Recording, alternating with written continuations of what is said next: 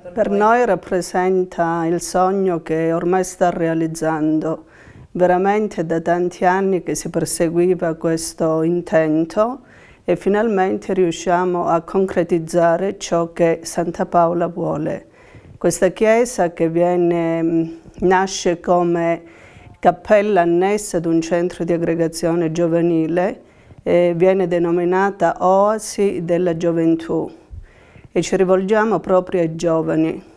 Siate positivi, scegliete la strada dei sacrifici perché questo porterà buoni frutti. Maria è felice per questo, tutti siamo felici è veramente un miracolo pure questo, poterla realizzare questa chiesa.